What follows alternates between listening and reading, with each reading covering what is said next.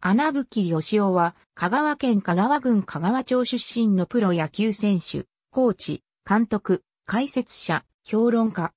1962年から1966年までの登録名は穴吹隆弘。進む学校、高松高校時代から評判の打者で、1951年夏の甲子園、県予選準々決勝に進むが、人生学園に敗退。1952年に中央大学経済学部へ進学後も、さらに才能が開花。東都大学野球リーグでは2年時の1953年、春季リーグで優勝。同年の大学全日本選手権では、決勝で立大に敗れ準優勝。リーグ通算99試合出場、349、打数111安打、打率318、6本塁打、55打点。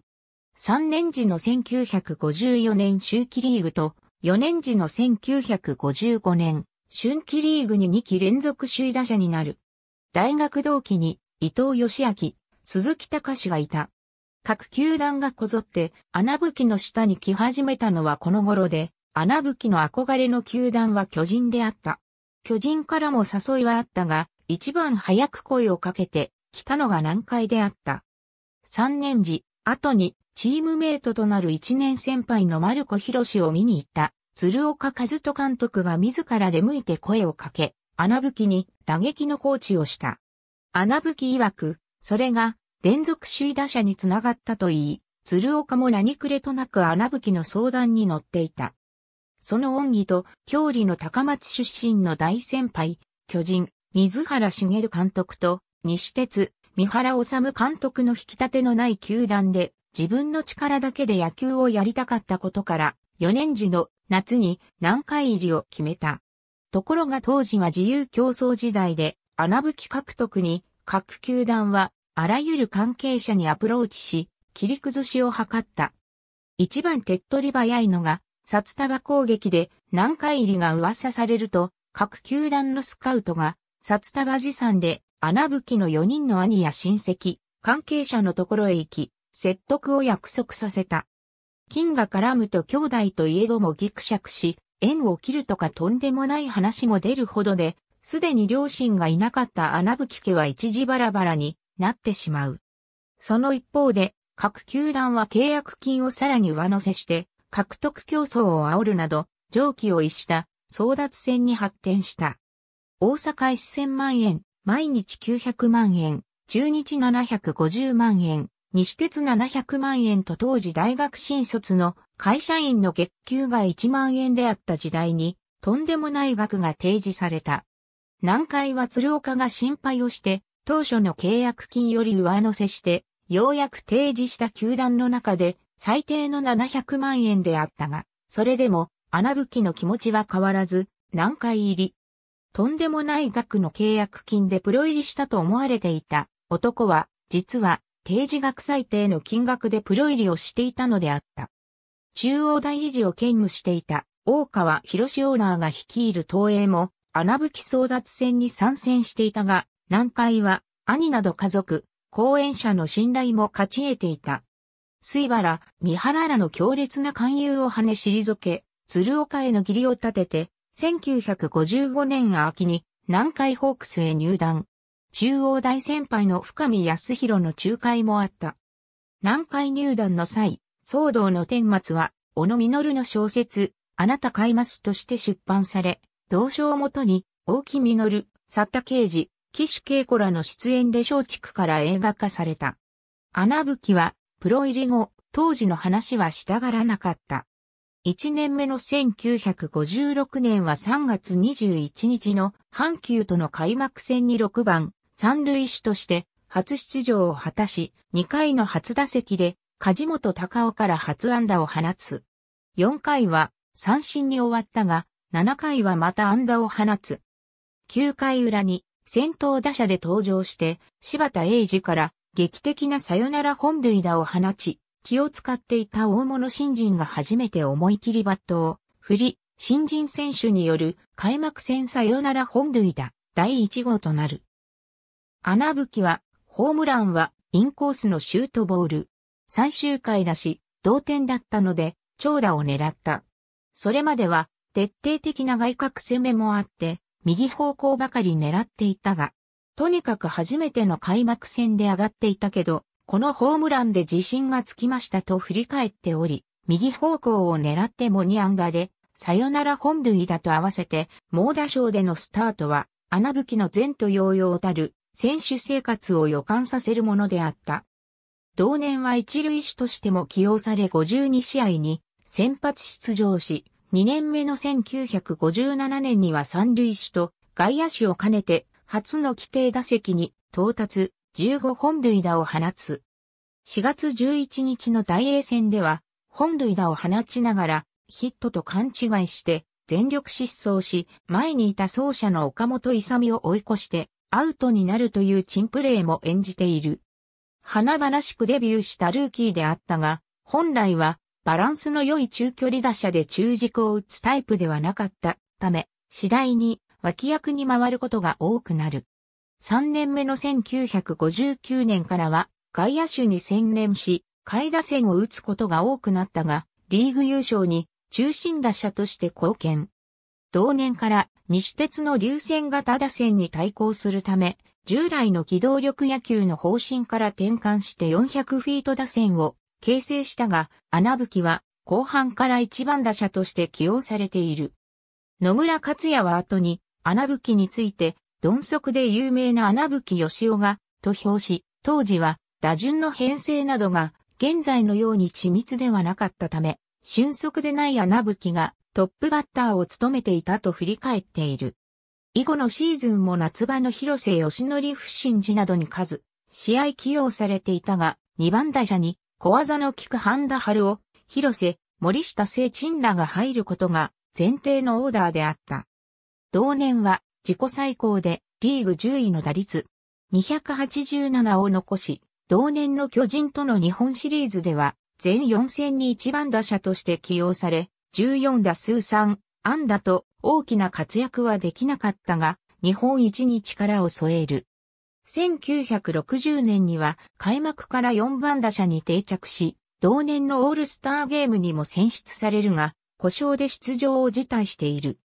1961年には野村に4番の座を譲るが、同年の巨人との日本シリーズでは、10月22日の第1戦で中村実、同24日の第2戦で、堀本律夫から本塁打を放った。1963年には、樋口正蔵、堀米元明の台頭もあって、出場機会が減少したが、10月16日の西鉄戦では、県と羽鳥の間で、井上義雄から、さよなら本塁打を放っている。その後も、準レギュラーとして起用され、1966年の巨人との日本シリーズでは、10月17日の第4戦で、金田正一から本塁打を放つなど8打数3安打と活躍。いつも大金をもらって入団したという心の重荷があったことから、一度は喧嘩した兄弟にもそれぞれが家を建てられるほどの金額を契約金から分け与えた穴吹きだが、打ってもあれだけもらったのだから当たり前、ミスをすれば契約金泥棒とヤジを浴びた。打撃面では、左投手には無類の強さを誇ったが、右投手の変化球に弱く、入団時の期待ほどの成績を上げることはできなかった。同僚の広瀬は、左投手には本当に強かった。相手投手が全員サウスポーだったら三冠王になれたのではないかと私は本気で思っていると述べている。1968年引退。合法来楽なイメージの反面、健康に気を使うなど繊細な一面もあり、毎年オフに一週間ほど断食をし、驚くほど宿便が取れると笑っていたこともあった。引退後は、南海大英で二軍コーチ、一軍外野守備コーチ、二軍監督、監督、編成部長を務めた。二軍監督時代の1975年、1980年、1981年には、チームをウエスタンリーグ優勝に導き、貞岡千秋、河野隆美幸らの打撃を一軍レベルに引き上げるなど、後の主力選手を多数一軍へ送り出した。自身の経験を踏まえ、若い選手には練習の重要性を厳しく時には、優しく時、人望があった。練習メニューを組み立てるのがうまく、選手の長所を伸ばすタイプの指導者であった。練習が終わると、後ろにトンボをつけたトラクターを運転して、グラウンド整備をするのが常で、選手に厳しい練習をさせとるから、これくらいわしがやらんとと、人懐っこい笑顔を見せていた。1977年9月28日、野村が女性問題による公私混同を理由に監督解任を受けて、穴吹は2試合だけ代理監督として指揮を取る。試合前にダッグアウト前で選手の名前を呼んで、さあ、行こうぜ。と葉っぱをかける姿がよく見られたほか、ベンチ前で選手に声をかけ、へえ、久保寺、行こうぜ立石、ガミ、頑張れと中本球場や大阪球場でのぶとい声を響かせた。監督時代は、試合勝利後のベンチ前での万歳三唱がトレードマークとなったほか、儲ける野球を掲げ、チームの再建と観客動員のアップを目指した。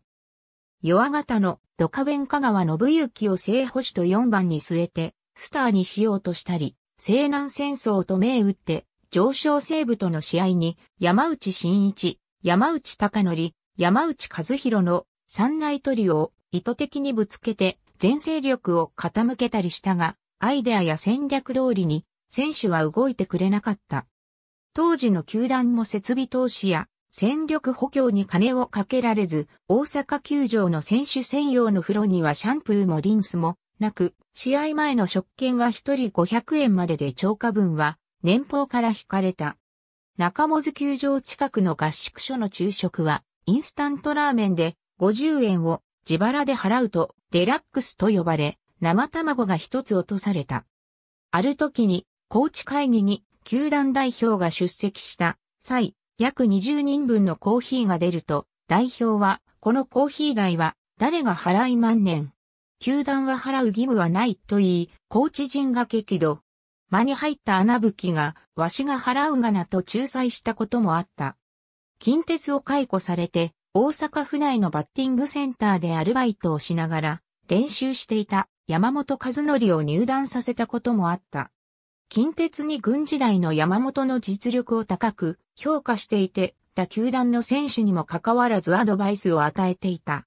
そのため、自身の南海に軍監督から一軍監督への移動と山本の近鉄戦力外通告が重なり、山本の南海への入団につながった。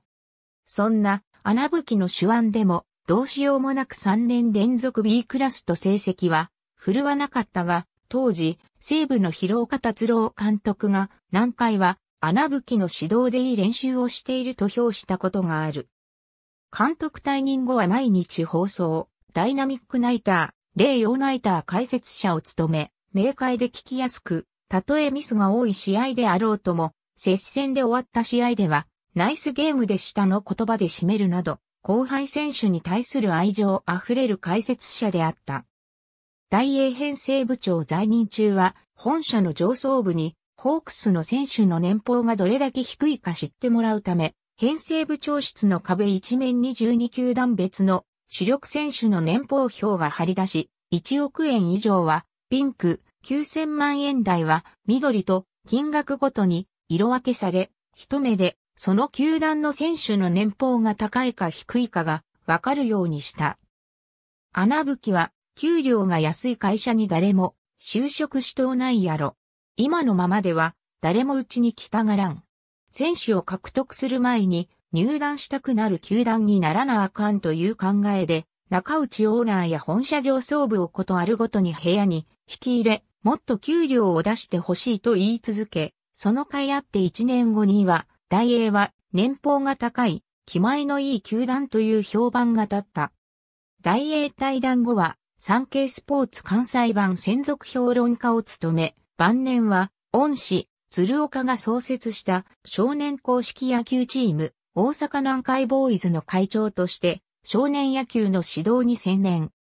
多くの有望選手を高校に送り出したが、2006年に脳梗塞、2015年末には脳内出血で堺市の自宅前で倒れ、療養生活を続けていた。2018年7月31日12時6分、敗血症のため、堺市の病院で死去。85歳没。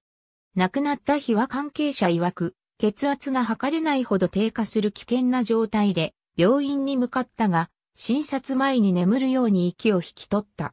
会話ができなくなり、面会には応じていなかった。体重も 60kg まで落ちていたが、握力は最後まで強いままであった。ありがとうございます。